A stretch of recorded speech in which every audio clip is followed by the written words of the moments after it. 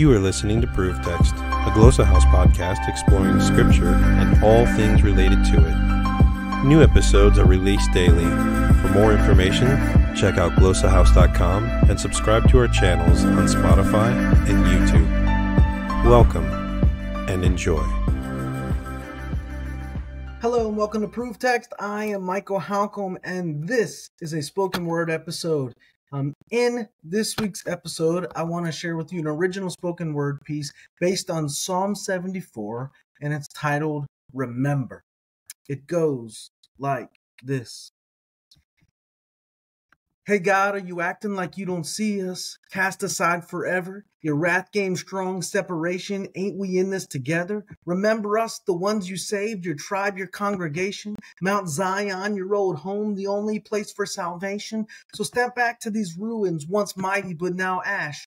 But the empty wrecked it, so all we've got is the past. Your foes stormed in with their foe banners raised high, swinging axes in the temple like they ain't afraid to die. They smashed your sacred wood with the hammers and with hate, burned down your holy place, this space they chose to desecrate. They said in their hearts, let's crush them all tonight. They torched every meeting spot, turned our day into night. We see no signs because there are no prophets left to speak.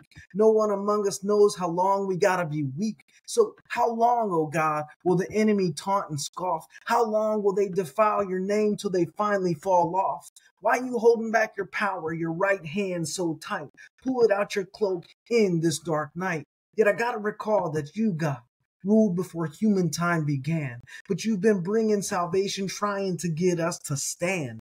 You split the sea with your strength, crushed the monster's head, broke Leviathan, he's dead. To the desert, he's been fed. You opened springs, Lord, and you let the waters flow. Day and night were yours, all is within your control.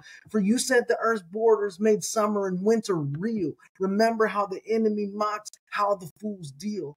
Don't hand over your dove to those grimy beasts, and don't forget your afflicted caught in their feasts. Respect your covenant, seek these dark places full of pain. Let the oppressed rise and the poor sing your name again. Raise up, O God, defend your cause ever strong. Remember the mockery, how long it's been wrong. Don't ignore the shout, the uprising roar, your enemy's noise, the rebellion at your door. Interested in growing your ancient language skills but not sure where to start? Glossa House can help. From illustrated readers and short stories to lexicons and grammars, Glossa House offers a variety of resources for beginning, intermediate, and experienced ancient language learners. Head to glossahouse.com today. Glossa House, language resources for the global community.